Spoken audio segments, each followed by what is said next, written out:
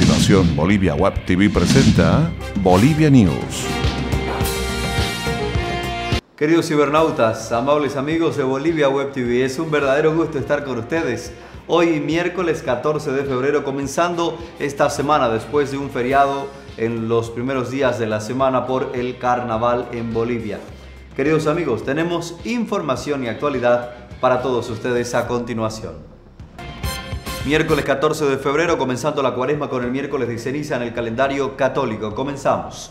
Casi medio centenar de muertes durante los tres días del carnaval. Cerca de medio centenar de personas fallecidas es la consecuencia de la fiesta de carnaval en Bolivia, de acuerdo con el informe preliminar que brindó ayer el ministro de Gobierno Carlos Romero, que detalló los sucesos en distintos puntos del país. Asimismo habló de 137 heridos en distintos hechos. Tenemos los dos cuerpos que fueron encontrados luego de la mazamorra que se produjo en Tiquipaya. A eso sumamos la explosión en Oruro con 8 muertos, 16 víctimas por hechos de tránsito en las diferentes rutas del país. Por ahogamiento son 3 personas, suicidios son 4, tenemos 3 feminicidios, también fueron 10 personas por muerte natural y añadir el reporte de 127 heridos, la mayoría en hechos de tránsito, dijo la autoridad. A este informe se debe añadir los dos fallecidos ayer en Oruro y otros 10 heridos en una segunda explosión que se produjo en esa ciudad. Con esos datos, el número de muertes sube a 48 y 137 heridos. Y la cuaresma comienza con el miércoles de ceniza. En Santa Cruz, el arzobispo Monseñor Sergio Gualberti ha celebrado la Eucaristía concelebrada por los obispos auxiliares de la arquidiócesis desde las 8 de la mañana. Calendario católico indica que esta fecha significa el tránsito de la vida humana sobre la tierra, pues las criaturas dicen que el hombre proviene del polvo y en polvo se convertirá. Se informó que el horario de misas para la asistencia de los fieles después de la misa que celebramos muy temprano, en la tarde a las 18 horas se celebrará y a las 19 y 30 horas. También habrá celebraciones en los demás templos católicos en la ciudad de Santa Cruz y provincias. ¿Qué se recuerda el miércoles de ceniza? Según la doctrina católica es el primer día de la cuaresma, es decir, de los 40 días en los que la iglesia llama a los fieles a la conversión y a prepararse verdaderamente para vivir los misterios de la pasión, muerte y resurrección de Cristo en Semana Santa. Desde ya, el Monseñor Sergio Gualberti, arzobispo de Santa Cruz, invitó a los fieles a poner la mirada en la eh, Pascua, en la resurrección de nuestro Señor y a vivir estos días con una verdadera intención de renovación interior. En otro orden de las noticias, le contamos que en Santa Cruz la policía detuvo a 102 personas. Para el comandante de la policía, Alfonso Siles, desde el sábado hasta hoy se detuvo a 102 personas involucradas en reyertas y peleas al calor de las bebidas alcohólicas. Durante la fiesta del carnaval, la policía movilizó a 1.100 hombres en todos los distritos para realizar permanentes patrullajes.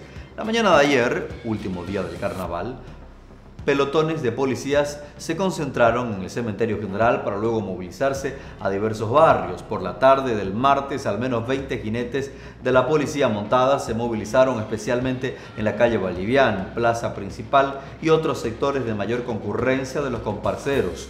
Hubo cuatro muertes, de acuerdo con Siles, pero no atribuibles netamente al carnaval. Una persona murió por ahogamiento, otra murió atropellada cerca de Paurito, otra atragantada y una mujer se quitó la vida, según reiteramos la autoridad, la primera autoridad eh, policial Santa Cruz. Gracias por informarse en Bolivia News a través de Bolivia Web TV. En otras noticias, el contrapoder radica hoy en la población, pero no es electoral. Nosotros nos seguimos comportando igual, denunciando las irregularidades que hay, dice Arturo Murillo, eh, senador de UD. Desde la oposición orgánica el gobierno, al gobierno, la organizada en partidos políticos, hay pocas noticias tras el 22 de enero. Hasta Hugo Siles está de acuerdo con Murillo.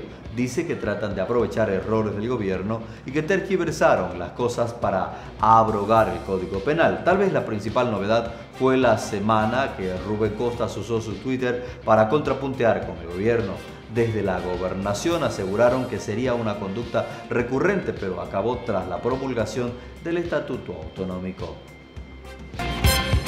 Queridos amigos amables cibernautas, es momento de revisar los principales indicadores de la moneda nacional.